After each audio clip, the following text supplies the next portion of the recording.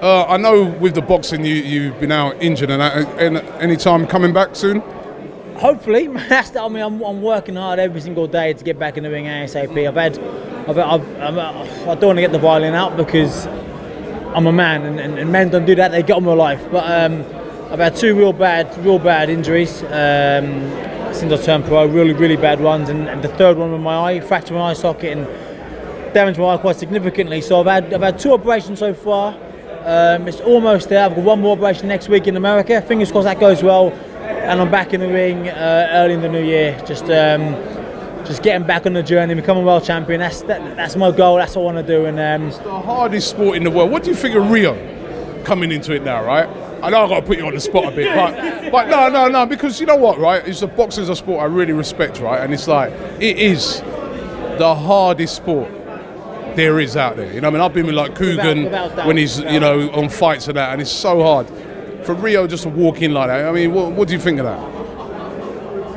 So my honest opinion of Rio, I, I, I, mean, I know Rio quite well. Um, he's always been very kind to me. Uh, he's always been very nice to me, so I'm not going to disparage him at all. He's, he's a lovely geezer. I think with, I mean, he's, he's, had a, he's had a horrible couple of years. I mean, losing his wife must be the most horrendous thing ever, which anybody can ever can uh, imagine. And to finish his football career, when you've done something for 20 odd years and, you, and, and it finishes, must be horrible. So, personally, now I don't know this, I think he's looking for something whatever he's looking for, I hope he finds it and he gets in and gets out without getting hurt, without getting damaged at all. Because boxing's a very, very dangerous sport, very, very, very dangerous sport.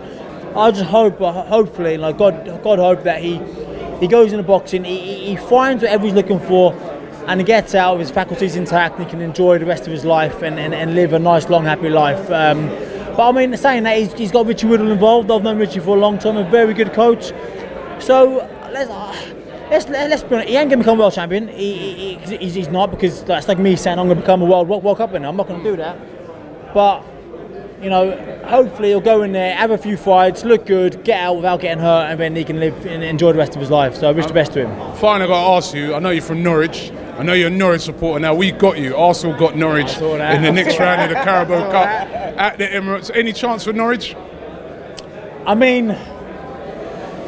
There's more chance of, uh, I think, Delia Smith. We are winning the world title. Or Delia Smith modern for Playboy. I think. Uh, and they're saying that, I say that. Delia's, Delia's a, I'm not being rude, Delia's a smart bit of kit. I was sitting on, uh, she's often at the uh, Carrow Road. But no, listen, I mean, my heart's angry with that draw. I was hoping for, like, I don't know, I was hoping for an easy, uh, an easier draw. I think we're kind of going to, I mean, the less said, the best, really. Hopefully. Hopefully, let's put it this way: let's focus on the league.